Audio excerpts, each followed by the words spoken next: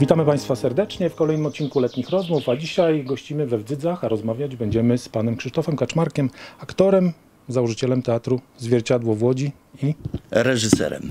bardzo mi miło, witam pana serdecznie. Witam, bardzo mi miło imienniku. Ja chciałem e, zapytać w takiej lekkiej, e, letniej formule o historię tego, tych warsztatów, bo znajdujemy się w miejscu, gdzie od lat Ponad 20. 20 lat Tak. kształci pan młodzież. No i pytanie pierwsze, jak to się zaczęło? No, Zaczęło się to, jak powiadam, ponad 20 lat temu.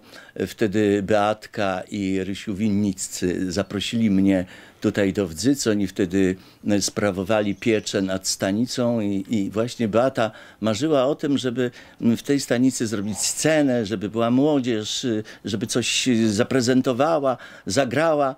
No i, i ściągnięto mnie, dlatego że pracowałem dawniej mm, 11 lat w Teatrze Nowym w Łodzi, gdzie również pracował jej ojciec. No więc y, tata wskazał na mnie, mówi Krzysio jest najlepszy do takiej roboty. I tak się zaczęło.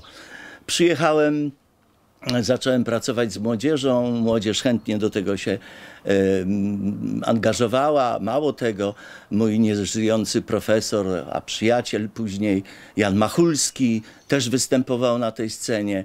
Nieżyjący Edward Rzętara. A, za, a zatem y, ta scena y, w stanicy bardzo y, żyła, nie tylko młodzieżą, ale i spektaklami.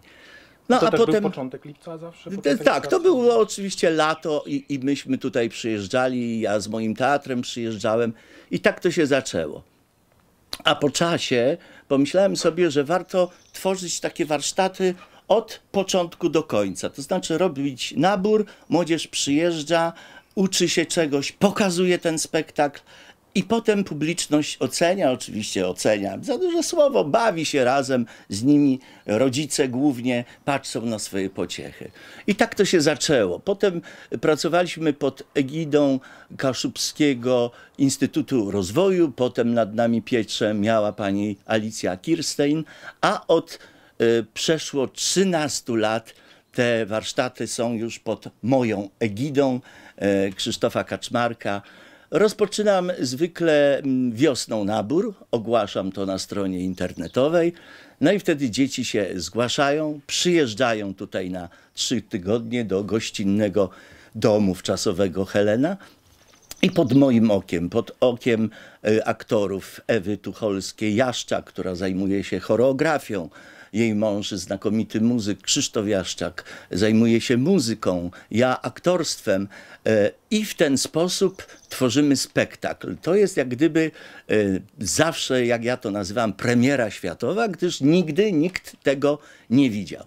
Młodzież w ten sposób się rozwija, w ten sposób y, tańczą, śpiewają, ale proszę mi wierzyć, jakby nie głupieje na tym punkcie, bo często słyszałem, że ktoś się zamyka w namiocie na trzy tygodnie, robi spektakl. Nie. Młodzież tutaj ma przede wszystkim wypocząć. A zatem chodzimy nad jezioro, byliśmy na wycieczce nad morzem. Oni mają mm, też ognisko, y, mają czas wolny. Oczywiście spędzają go w różny sposób, idą tutaj sobie na basen. A zatem generalnie odpoczynek, a przy okazji, przy okazji y, y, rozwijanie ich pasji, bo oni strasznie lubią tańczyć, śpiewać, oni lubią występować na scenie. A zatem wydaje mi się, że te warsztaty mają y, cudowną formułę. Odpoczywamy, ale odpoczywamy z pewnym planem. No i potem pokazujemy ten spektakl na scenie wspaniałej kina Remus. Zjeżdżają się rodzice, przyjaciele, dawni absolwenci y, moich warsztatów i oglądają spektakl. Potem spotykamy się jeszcze raz we wrześniu, żeby ten spektakl pokazać młodzieży kościerskiej. Wtedy szkoły przychodzą od rana na nasz spektakl. No a potem jesienią e, zapraszam na moją scenę, gdyż prowadzę scenę młodego widza przy spółdzielni mieszkaniowej imienia Władysława Jagieły. Spółdzielnia gości e, naszą młodzież przez trzy dni, mają hotel, jedzenie i na tej scenie mojej, którą prowadzę, Łódź z kolei ogląda ten spektakl. A zatem nie tylko tutaj, ale przyjazd powoduje, że jesteśmy jakby teatrem y, długofalowym.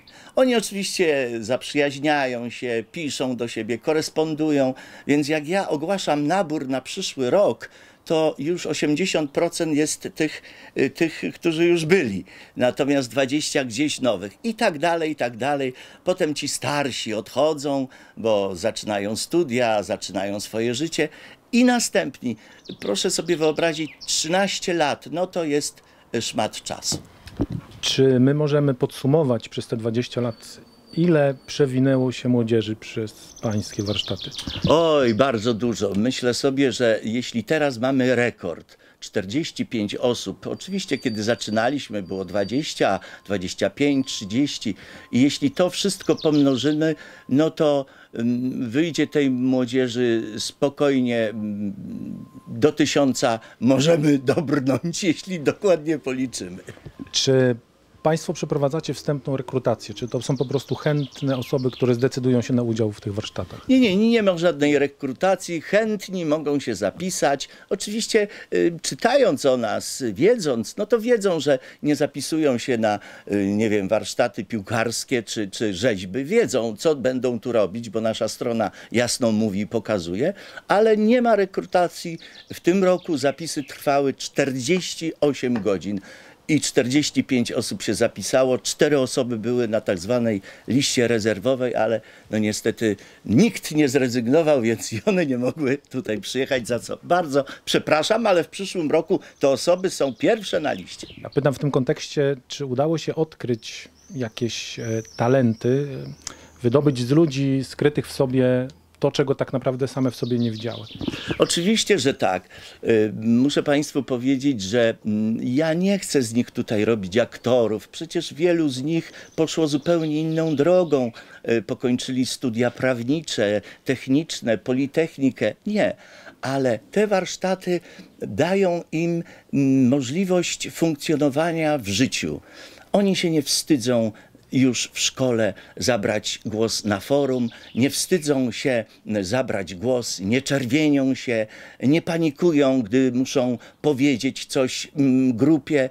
Y, Są zupełnie inni, to rodzice mówią, jak y, te dzieci, młodzież przyjeżdża z warsztatów, to często rodzice mówią, że wie pan, ja, ja, ja nie poznaję mojej córki. Chodzi mi o otwieranie, bo dzisiaj żeby funkcjonować e, w świecie, e, musimy mieć takich ludzi, którzy patrzą w oczy, którzy się nie wstydzą, którzy mogą podjąć dialog, odpowiedzieć na pytanie. No, ludzi, którzy, którzy zaczynają w społeczeństwie funkcjonować, nie są skryci, e, gdzieś tam swoje kompleksy chowają, potem są jakieś wizyty u psychologa. Myślę, że, że tutaj to, co się dzieje, to jest najlepszym psychologiem dla tej młodzieży. Oczywiście są też tacy, którzy dalej kontynuują, bo chcą być aktorami i mamy absolwentów, którzy szkołę teatralną pokończyli, tak jak moja córka, bo przecież przyglądała się jak ojciec to robi, to skończyła szkołę teatralną we Wrocławiu. Jak choćby Magda Fenik, która też była kilka lat na moich warsztatach, teraz jest dyplomowaną aktorką, aktorką, która gra w Państwowym Teatrze w Elblągu. A zatem są osoby, które kontynuują to, ale ale nie muszą. Ważne, żeby tutaj się bawiły i żeby coś z tego wyniosły. Jeszcze chciałem zapytać, jak się pracuje z taką młodzieżą w perspektywie właśnie tych 20 lat? Czy ta młodzież dzisiaj jest trudniejsza, czy bardziej otwarta, czy mniej otwarta? Czy wpływ technologii w jakiś specyficzny sposób wpłynął na rozwój tej młodzieży? Chciałem pana zapytać właśnie o... Tak, myślę sobie, że bardzo młodzież się rozwinęła. Oczywiście pandemia teraz spowodowała, że, że oni siedzieli zamknięci przy komputerze i oni pragną tych kontaktów. Nieraz mnie proszą, żeby dłużej zostać. Cisza nocna zaczyna się o 22. Proszę pana, czy możemy jeszcze trochę dłużej pogadać w pokoju? Czy tak, oczywiście ja pozwalam, bo wiem ale w ogóle bardzo młodzież się rozwinęła. Y, Dam jeden przykład fantastyczny. Dzisiaj młodzież, za moich czasów, uczyliśmy się języka y, rosyjskiego, bo musieliśmy w szkole się uczyć. Teraz ja to nadrabiam, mam prywatne lekcje języka angielskiego, a ta młodzież doskonale mówi po angielsku. Do tego stopnia, że jedna z uczestniczek, Laura Orland, przetłumaczyła wszystkie piosenki z tego filmu Sing na język polski i my śpiewamy według jej tłumaczenia. A zatem jest bardzo kreatywna młodzież, bardziej otwarta.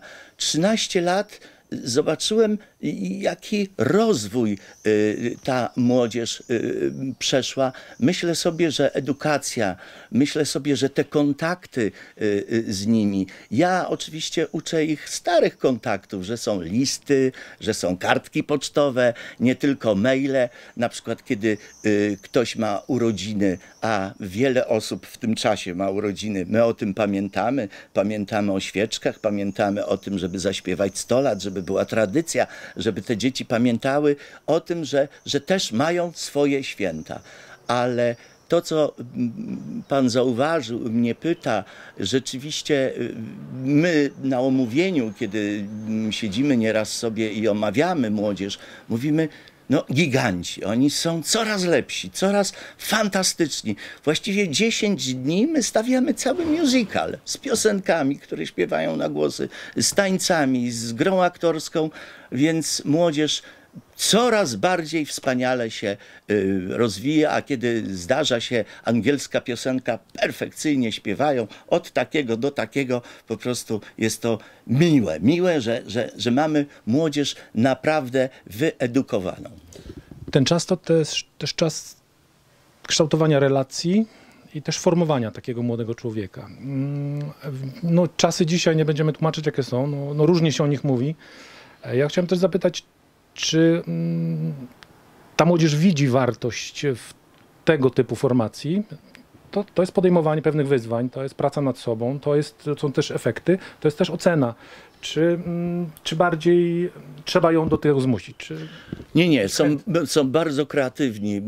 Wczoraj nawet była sytuacja nieprawdopodobna, gdyż oni w ukryciu zupełnie w tamtym roku przygotowali film dla nas, dla kadry, gdzie oni się wypowiadali w tym filmie, gdzie dziękowali nam. Oczywiście myśmy tego nie zauważyli, jak oni to kręcili. Oni to przygotowali na wrzesień ubiegłego roku, ale no niestety pandemia pokrzyżowała plany i tych przedstawień nie było.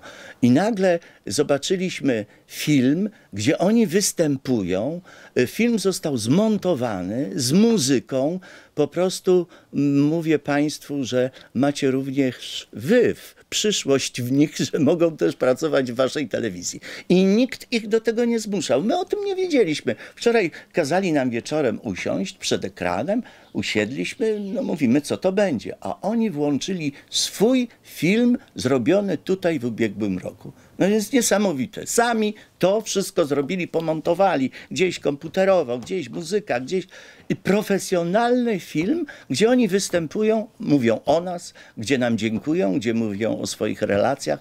To jest fantastyczne. Oczywiście jeszcze będziemy tutaj do soboty y, popremierowej ale oni już wczoraj płakali, już przeżywali tak jak my z nimi, że to się kończy, więc były płacze, przytulania, bo mają tego świadomość, że niedługo to się skończy, a oni teraz są w najlepszym takim okresie y, zabawy z nami. Jasne, no to krótko możemy zaprosić na sam koniec na ten finał, który odbędzie się 15, 15 lipca e, w sali imienia Lubomira Szopińskiego o godzinie 18 będzie to musical Sing według filmu hollywoodzkiego animowanego o tym samym tytule, a na drugi dzień 16 lipca tylko już o godzinie 19 na pięknej scenie plenerowej we Wdzydzach będzie to spektakl no, pod chmurką. Mam nadzieję, że jak zawsze pogoda nam dopisze. Ale mamy namiot teraz, także też czy nam nie grozi. No, tak, nie grozi widzom, także przyjeżdżajcie do Wdzyc, warto zobaczyć y, swoją młodzież, bo młodzież jest z całej Polski, ale dużo osób jest y, z Kościerzyny, z gminy y, kościerskiej, y, z Gdańska. Oczywiście jest młodzież z Łodzi, z Warszawy, z całej Polski, ale przyjeżdżajcie, oglądajcie, bo naprawdę warto. Ja panu bardzo dziękuję za poświęcony nam czas i A, z za słowo. zawsze. Państwu dziękuję za Zawsze. uwagę i do usłyszenia i do, do zobaczenia. Do widzenia.